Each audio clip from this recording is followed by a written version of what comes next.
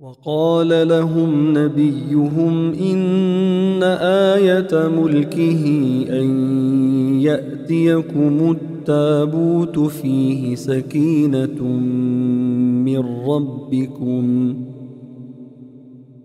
فيه سكينة من ربكم وبقية مما ترك آل موسى وآل هارون تحمله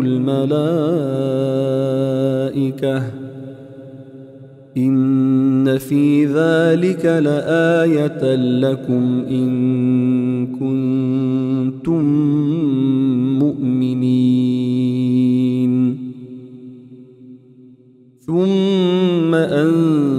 الله سكينته على رسوله وعلى المؤمنين وأنزل جنودا لم تروها وأنزل جنودا لم تروها وعذب الذين كفروا وذلك جزاء الكافرين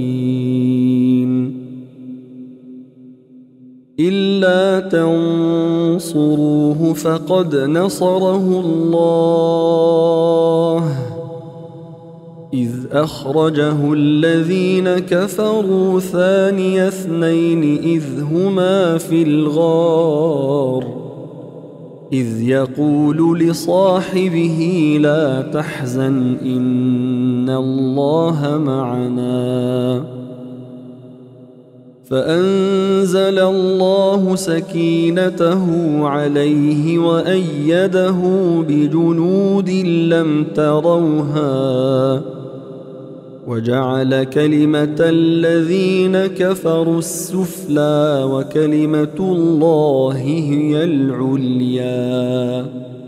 والله عزيز حكيم. هو الذي أنزل السكينة في قلوب المؤمنين ليزدادوا إيمانا مع إيمانهم. ولله جنود السماوات والأرض وكان الله عليما حكيما. لقد رضي الله عن المؤمنين إذ يبايعونك تحت الشجرة فعلم ما في قلوبهم فأنزل السكينة عليهم وأثابهم فتحا قريبا.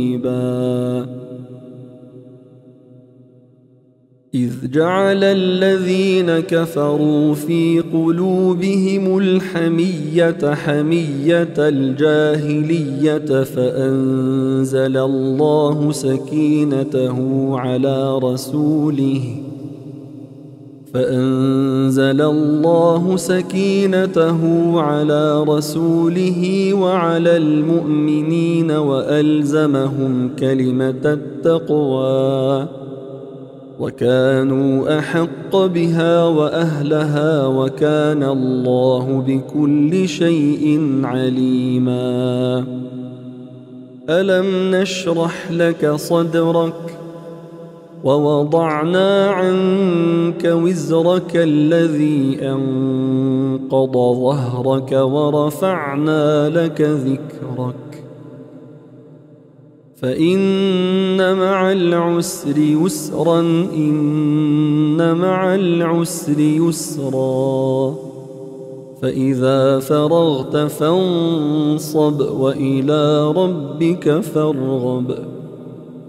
قل هو الله أحد الله الصمد لم يلد ولم يولد ولم يكن له كفوا أحد.